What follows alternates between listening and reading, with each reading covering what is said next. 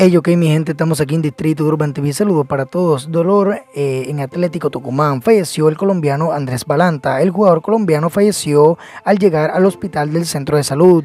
Eh, el jugador de Atlético Tucumán, Andrés Balanta, falleció esta tarde al llegar al hospital centro de salud por razones que se investigan e informaron fuentes oficiales allí en las redes.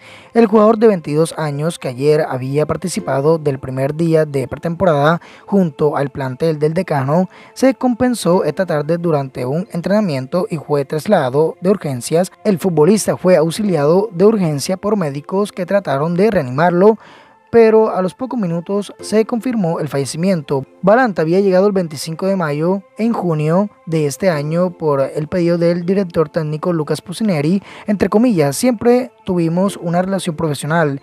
Estoy muy agradecido con él porque en mis inicios me dio una mano y obtuve continuidad, cierro comillas, señaló el colombiano en aquella oportunidad al oriundo de Cali. El mediocampista defensivo había tenido algunas apariciones en el equipo tucumano que peleó la Liga Profesional de Fútbol hasta las últimas fechas y se preparaba para tener mayor protagonismo en el torneo que comenzará a finales de enero. Sin duda mi gente no sé qué opinan sobre esta noticia, noticia que tendencia, os vemos en otro video.